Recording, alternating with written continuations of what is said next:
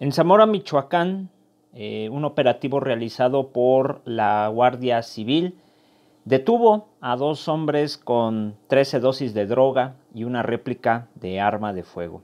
Al desplegar, según la información de la voz de Michoacán, las labores de prevención y vigilancia en la colonia Las Fuentes de este municipio, los llamados oficiales de la Guardia Civil visualizaron a las personas del sexo masculino, quienes al notar la presencia policial intentaron huir, motivo por el cual les marcaron el alto.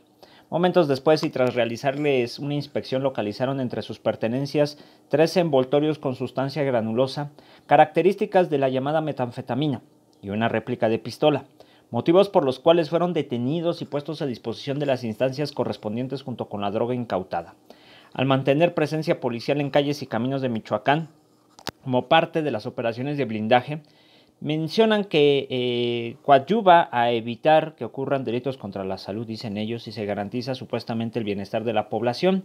Por ello, y junto a las llamadas políticas públicas de proximidad social, se generan supuestamente las condiciones de paz que la población merece. Sí, al parecer relativamente ha bajado la situación de violencia en Zamora, y eso que todavía sigue estando en números pues bastante lamentables, ¿no, compas? Pero no se confíen. Las cosas todavía pueden seguir ocultas y en cualquier momento se puede desatar.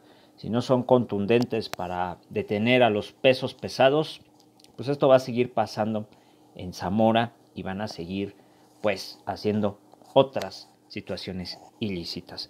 Así que ojo con este detalle. Sí, están ocurriendo detenciones, pero no completamente le están dando el golpe o el madrazo a cualquiera de los grupos que están en esa zona.